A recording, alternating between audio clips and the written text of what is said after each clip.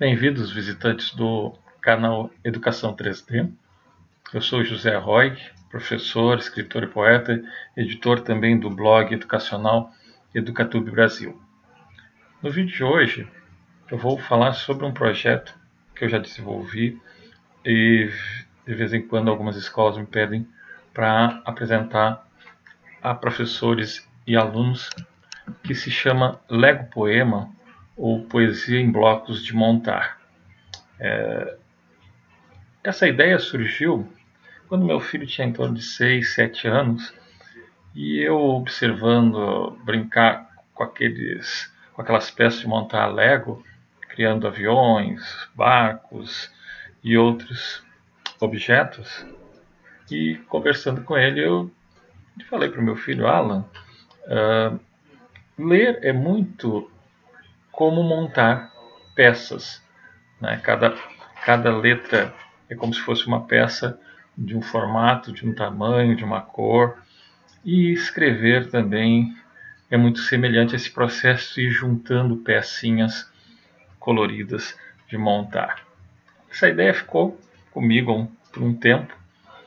Em, em 2013, uma colega me pediu um projeto justamente para trabalhar com letramento, incentivar a poesia, a escrita, a leitura e a escrita numa escola pública municipal aqui da região de Rio Grande. E eu propus então esse projeto. Né? Cheguei na escola, né? E a ideia era trabalhar com a questão do lúdico, com o imaginário. Né? E, e para minha grata surpresa, né?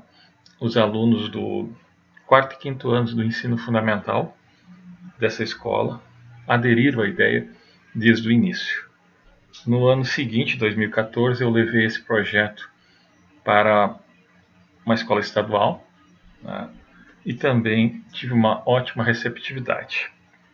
O que consiste então o Lego Poesia ou Poesia em Blocos de Montar? É um projeto que, primeiro, eu sensibilizo pela questão justamente da ludicidade né, e do imaginário infanto e juvenil. Eu trabalho com uma história que eu contei para o meu filho, que era uma, uma, atividade escolar. A professora dele pediu que ele um, ehm, falasse com o pai, que contasse uma história quando ele era criança ou alguma história familiar envolvendo crianças e eu contei a história do menino que queria voar. Na verdade, era a história do meu próprio pai, artista plástico, que na década de final dos anos 40, início dos anos 50, né, criança naquela época, com 14 anos, naquela época era criança, né, uh, tinha o sonho de voar. Né, e criou um par de asas voadoras a partir de bambu e papel celofane e uma série de outros materiais e ele e um amigo queriam se arremessar da torre da igreja da pequena cidade de São José Norte, aqui vizinha de Rio Grande. Um dos relatos que ele mesmo deixou, né, ele conta que hum, a torre da igreja, uma delas tinha um sino que impedia o deslocamento, a movimentação, e na outra uh, torre havia uma lenda né, de que uh, morava uma bruxa. Né, e naquele tempo, então eles, assustados, resolveram se dirigir a um casario histórico ali próximo, ao lado da igreja. E sobre o telhado desse casario, né, meu pai é, se projetou no ar com as asas. Né. Claro, para sorte dele, naquela época, as calçadas, as ruas não eram calçadas com pedra nem asfalto, era areia mesmo, chão. É, e ele sofreu uma fratura na perna, no braço, machucou a cabeça, mas voar mesmo dali em diante só na imaginação. Ele se tornou artista plástico. Esse voo foi influenciado pela, pelo imaginário do cinema. Ele ajudava ao projetista do cineminha da, daqui da cidade, da cidade dele, né? E ele se influenciou pelos personagens Superman e outros mais que voavam e quis também voar. Né? Essa história eu contei para o meu filho, ele ilustrou, com canetinha, hidrocor, caderno pautado, né? eu fotografei e depois produzi uns slides. E essa é a primeira atividade que eu faço no projeto com as crianças, com os jovens. Depois que eles veem essa projeção uh, que eu faço com o Data Show, eu mostro um documentário onde o menino queria voar, já idoso, meu pai, conta essa história. E aí a maioria se surpreende pensando que era pura ficção e era realidade. E aí há um, um estranhamento natural, né? Que é o próprio questão da, da arte, na arte, esse estranhamento. E eu mostro esse fragmento de um documentário que meu pai participou, que seguidamente é veiculado na TV Escola, do MEC, que é Ao Sul da Paisagem. Eu recortei apenas a, o depoimento dele, em torno de cinco minutos, quando ele conta justamente esse incidente, né? Essa, esse voo que ele teve quando é, criança. Uh, a partir dali, né, eu peço que a, os alunos um, escolham do material já previamente que eu peço a, a, aos professores e à escola que separe para mim aquelas peças tipo Lego, peças da educação infantil, é, aquelas maiores, né, coloridas que lembram o, o formato do Lego do jogo e peço que cada aluno é, um, coloque uh, o seu imaginário em pauta e escolham três peças de tamanhos e, uh, e cores diferentes. E com essas três peças tentem montar alguma coisa, alguma imagem, algum objeto. E é interessante porque as mesmas três peças muito semelhantes, para um é um telefone, para outro é uma escada, para uma arma, né? então cada um, e até eu digo para eles, não importa, é, para ti é isso, isso que é importante, é o teu imaginário. Peço que depois eles desmontem e com as mesmas peças tentem criar outro objeto e desse jogo lúdico do imaginário né, é o primeiro passo para trabalhar com a construção de palavras. Aí volto, torno a dizer para eles que eu falava para o meu filho que ler é muito montar essas peças, escrever a mesma coisa. Trabalho com uma série de questões durante a atividade, né, incentivando a criatividade dos alunos. Né, e aí, num terceiro momento, eu também com material previamente solicitado, e, que são livros infantos, juvenis, infantis, né, da biblioteca da escola mesmo, que as professoras me separem livros somente com ilustrações, outros com texto e alguns com ilustrações e textos e coloco numa mesa ali próximo dos alunos. Peço que cada um escolha um livro, não, não importando tanto com a história, mas escolheu apenas um livro. Dali, eu peço que eles, com esse livro entre as mãos, fechem os olhos, abram o livro numa página qualquer, abram os olhos e escolham uma palavra. Não importa qual, a palavra que eles primeiro viram ou que eles gostaram, ou se o livro é só com imagens, o que aquela, aquela imagem representa. Todos escolheram a sua palavra, a sua imagem, num quadro né, com giz, a tecnologia também ainda presente nas escolas. Eu vou um, anotando todas as palavras que os alunos vão me dizendo. E desse brainstorm, nessa tempestade de ideias, né, aí sim eu começo a organizar o que são objetos, que são animais, que são é, pessoas, personagens. A gente separa, classifica, organiza, né, para estruturar uma história ou uma poesia. Na primeira escola que eu contei para vocês, em 2013, com a professora Marilene Silva, né, os alunos eu até mexia, conversava com eles, se alguém já tinha escrito alguma poesia, a maioria dizia que não. E eu diz, falava para eles que sairia dali satisfeito se uh, conseguíssemos montar um poema e a partir dali todos seriam poetas. Alguns disseram que não, que não iam conseguir, que nunca tinham feito. E eu disse, então vamos, vamos ver. Então, uh, o que, que aconteceu? Essa primeira experiência, que foi o divisor de águas, que deu certo, né? É, foi interessante a, a própria reflexão que eu tive a partir dessa prática. Um dos poemas que surgiram dali né, foram quatro palavras mágicas quase, né, mar, presente, céu e balão. E aí eu perguntei para os alunos né, se isso era uma poesia. E disseram, não, né, eram palavras. E eu disse, realmente, palavras soltas não são poemas, não são histórias, são apenas palavras, são peças. E aí, para minha surpresa, um dos meninos já me perguntou, tio, podemos colocar algumas pecinhas entre elas? Disse, exatamente, era isso que eu ia conversar com vocês dessa possibilidade.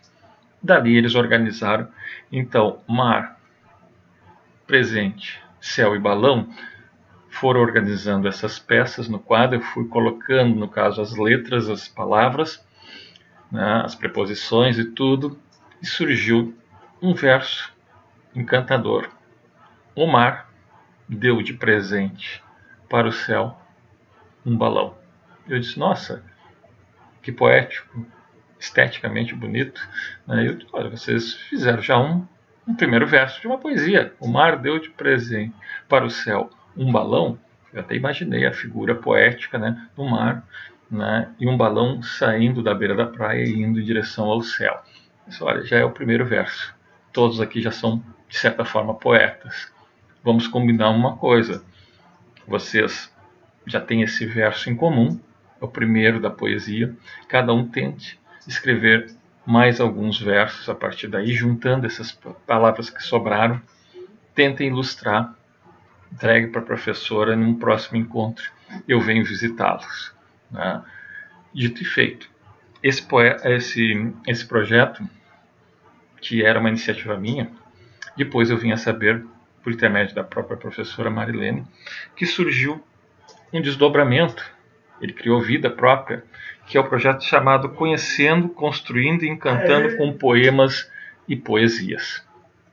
Essa variação do meu projeto inicial, ela consistia em exercitar uma técnica da escrita organizada. Os alunos começaram a dar ênfase a, a algumas histórias próprias, começaram a escrever versos, poemas, pequenas histórias. E aí foi feito uma, uma atividade chamada Varal da Poesia, onde que ele ficou exposto num cordão, preso com prendedores, né, esse, esse material de exposição, que eu até fui visitar depois da escola.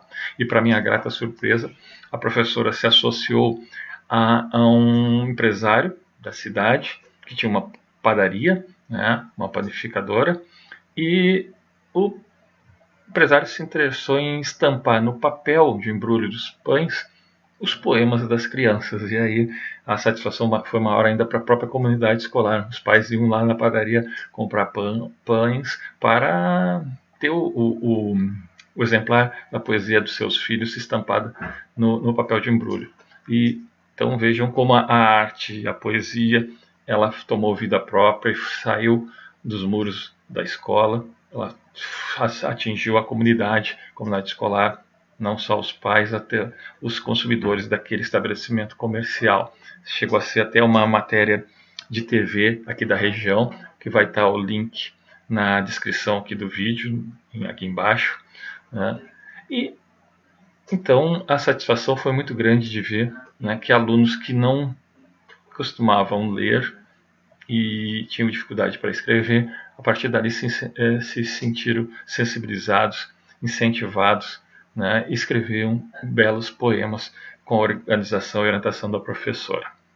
No ano seguinte, 2014, uma escola soube, né, a escola estadual, entrou em contato comigo né? E queria que eu colocasse, porque eu divulguei nas redes sociais um pouco, algumas imagens, comentei a respeito da, da metodologia do projeto, né? E queriam que o, que o projeto Lego Poesia fosse colocado em prática também né, nessa escola estadual.